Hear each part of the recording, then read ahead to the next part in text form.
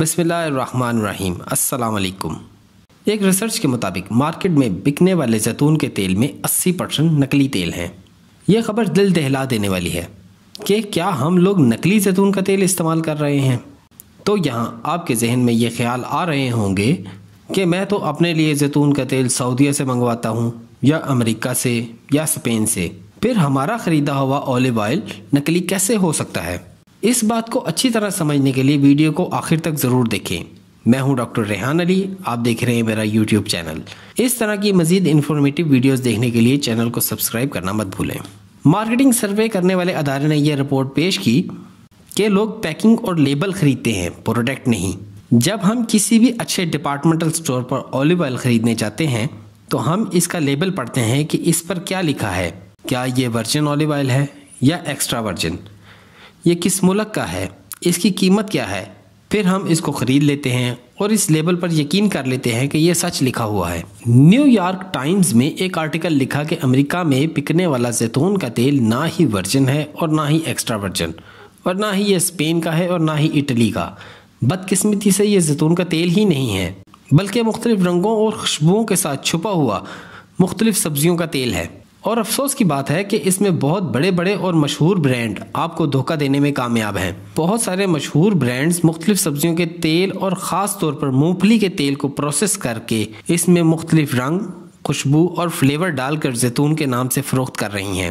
جیسے کہ میں نے اپنی پچھلی ویڈیو مونگ پھلی کے فوائد پر بنائی تھی کہ کیسے مونگ پھلی اور زیتون کے تیل میں ایک جیسی خوبیاں پائی جاتی ہیں۔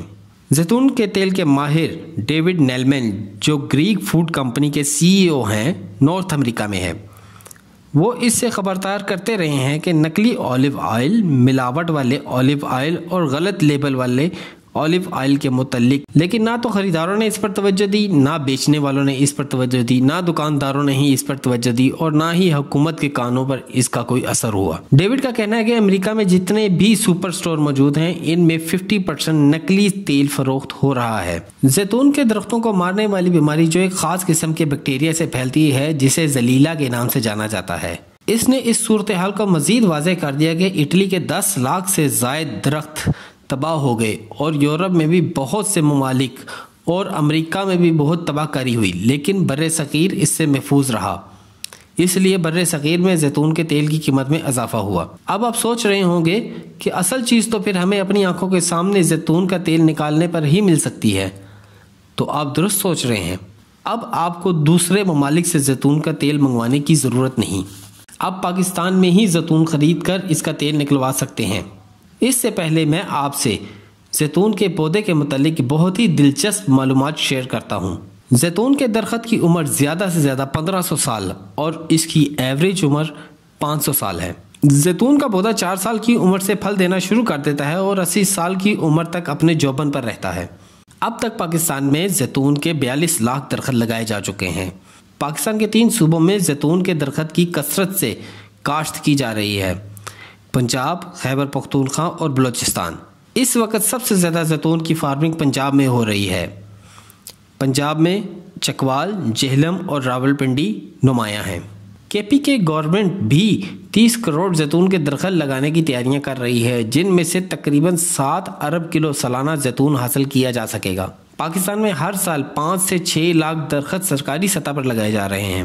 انشاءاللہ پاکستان اپنے ملک کی ضرورت کا زیتون کا تیل اگلے سال تک پیدا کرنا شروع کر دے گا اور ہمیں زیتون کا تیل امپورٹ بھی نہیں کرنا پڑے گا، جس کی وجہ سے ہماری اکانومی اور روپیہ مستحکم ہوگا۔ پاکستان میں زیتون کے تیل کی ضرورت پندرہ ہزار ٹن ہے، جو ہم باہر کے ممالک سے امپورٹ کرتے تھے اور وہ بھی نقلی یا ملاوٹ والا۔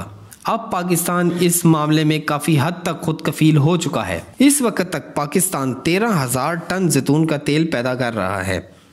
اور اگلے کچھ سالوں میں ہم زیتون کے تیل کو دوسرے ممالک میں بیچ کر اربوں روپے کما سکتے ہیں۔ اسپین پوری دنیا میں سب سے زیادہ زیتون بیچنے والا ملک ہے۔ ساٹھ لاکھ ایکڑ پر زیتون کی کاشت کی جاتی ہے، جبکہ پاکستان میں ایک کروڑ ایکڑ پر زیتون کی کاشت کی جا سکتی ہے۔ اس وقت پاکستان میں گیارہ لاکھ ایکڑ پر زیتون کاشت کیا جا رہا ہے، جو تین سے چار سال میں پھل دینا شروع کر دے گا۔ ہمیں چاہیے کہ ہمیں اپنے ملک کی چیزوں کو فروغ دینا چاہیے، اور وہی چیزیں استعمال کرنی چاہیے جو ہمارے ملک میں پیدا کی جاتی ہیں۔ کم سے کم ہمیں یہ تو پتا ہے کہ یہ خالص ہیں۔ ان شاء اللہ تعالیٰ، اللہ پاک نے چاہا تو ہم ان قریب پوری دنیا میں زیتون کو ایکسپورٹ کریں گے۔ دعا میں یاد رکھیں۔ اللہ حافظ۔